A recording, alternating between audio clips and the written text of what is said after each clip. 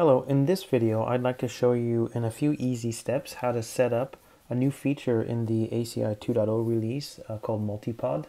Um, very quickly I've got my topology here in front of you. What I have is on the left side I've got pod 1.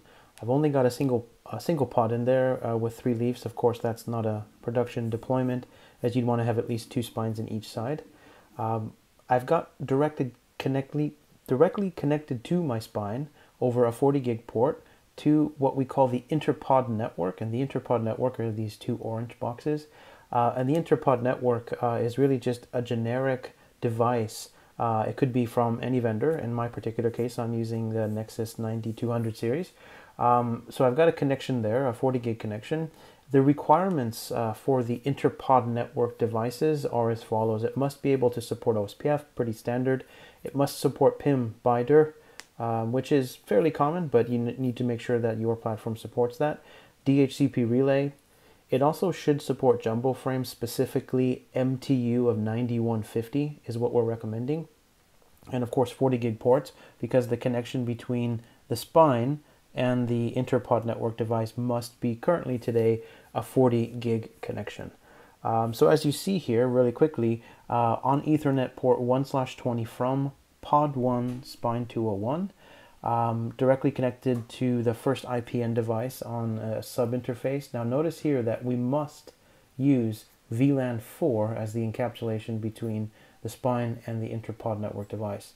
I've also set up a couple of IP addresses because we're going to set up OSPF adjacencies between the spine and the interpod network device. The stuff in between the interpod devices could be whatever you want, BGP, static routes, OSPF, EIGRP, it doesn't really matter as long as we can support these requirements across those connections. On the right side, you've got pod 2, and I've got another single spine and all of the same sorts of uh, conditions apply.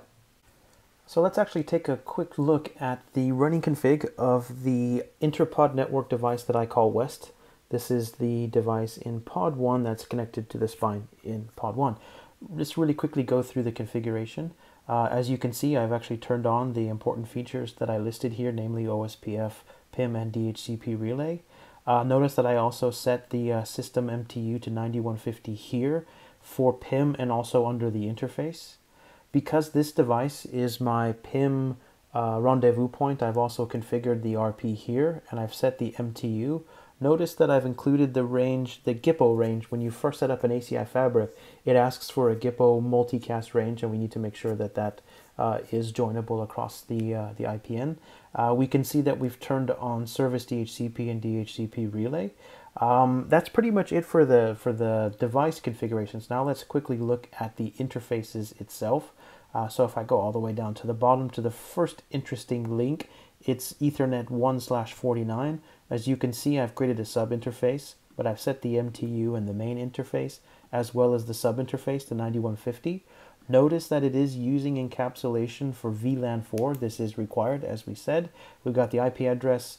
Um, it's running OSPF in area 0 as a normal area, and of course it's got uh, PIM running. And then finally we've got the DHCP relay address to pointing to my one and only APIC in my lab setup of 10.0.0.1.